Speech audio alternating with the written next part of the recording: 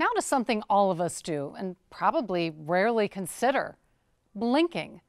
Scientists say we blink on average 15 to 20 times per minute. That's 1,200 times per hour and 28,800 times per day.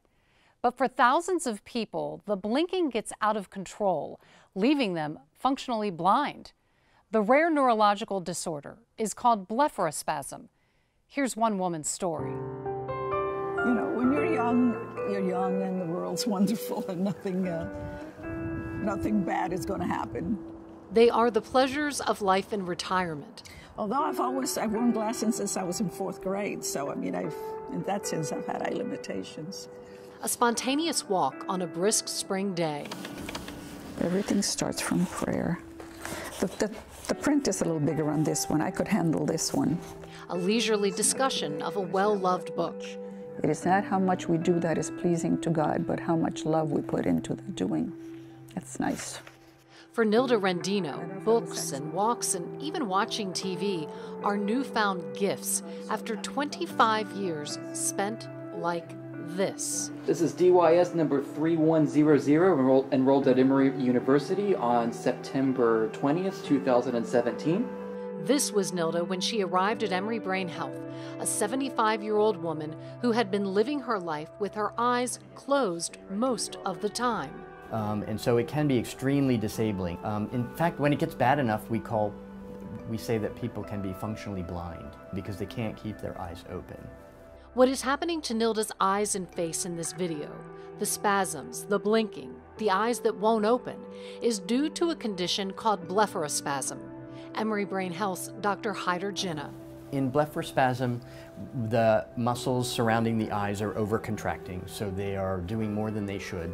But the problem is not in the muscles, the problem is actually in the brain's way of controlling your blinking. Somewhere along the line, the brain sends signals for your blinking that are too much. They're too exaggerated in some way. And so you blink longer, you spasm, uh, and your eyes may blink closed and they don't open for you, like uh, in Nilda's case.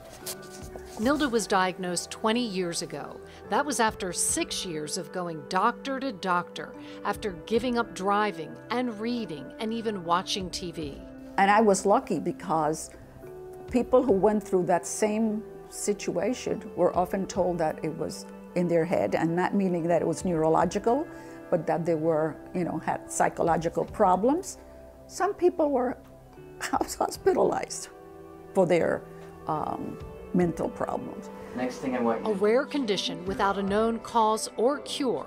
Blepharospasm usually begins sometime after the age of 50, affecting 40 to 50,000 people in the U.S., with twice as many as that thought to be misdiagnosed or undiagnosed.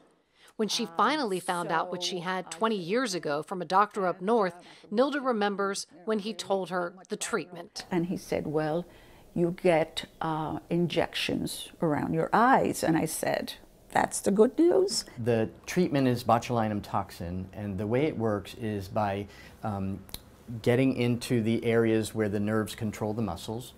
And what it does is it slows the nerves down. It doesn't really paralyze them. Um, it slows them down so that their communication with the muscles they control is less forceful, if you will. I tell patients that it's like a local muscle relaxer. Um, that's a little bit simplified, but that's really what it's doing. It's working locally to calm the overactive muscles. Botox is the most well known brand of botulinum toxins. While injections help the spasms, for 20 years, Nilda's eyes still stayed closed most of the time until her husband Ron drove her to see Dr. Jinnah from their home in North Carolina. She has also a feature of blepharospasm that maybe only 10% of the patients have and that's called apraxia of eyelid opening. The eyes close and then they won't open by themselves. And the reason for that is because there's a spasm in the skinny muscle of your eyelid that goes right across here. And if that spasms while the eyes are closed, it can't roll up over your eyeball. A few months ago, Jinnah changed the way she had been injected and included Nilda's eyelids. The results have been life changing. And it's been like unbelievable. unbelievable. My neighbors who are used to seeing me going around with a visor and sunglasses all the time didn't know I had eyes, you know. They said, Your eyes are open. Said, yes, my eyes are open. We were with Nilda three months after her newly altered injection plan. The results were beginning to wear off. I noticed that your eyes are closing as this light is on you. What impact does it have? If lights, bright lights are on my eyes, you know, they, they will close. It's not just a blink, they close. I'm having problems keeping my eyes open because of the light. TV is becoming problematic again. I'm not really, you know, able to keep them open long enough to follow the, the story. At her visit, Nilda has big news for the doctor. I drove a couple of times in the neighborhood. Um, Is that a new thing for you? oh, yeah. There's an exam. I mean, I can see that you have a little bit of extra blinking. It's not too bad. I see that some of the blinks are a little bit slow and the eyes don't want to open sometimes. Then the injections. You ready? Yeah. I always do the eyelid first. Which Nilda says don't hurt that much. No, not really. I mean, you obviously you feel it going in, but you know, I haven't had surgery, um, so that's not an issue. And some people it hurts more than others for some reason. And then she's finished. All right, well, let's plan for next time then.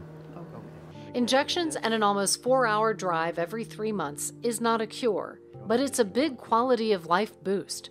And it certainly gives new meaning to the phrase eyes wide open. It's, yeah, it's, it's been a great three months. And we're going on another cruise, and I want to be doing well. you, you know that this is something you're going to live with for the rest of your life. But this is it. This is great.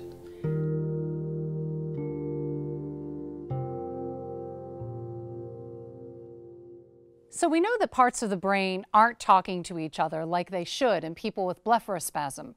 Hopefully, research will lead to more effective treatments for this lifelong disorder. As for Nilda, well, she and her husband went on a cruise. She reported back to us that she enjoyed and saw all the beautiful sights along the way. After years spent in darkness, it was an incredible gift.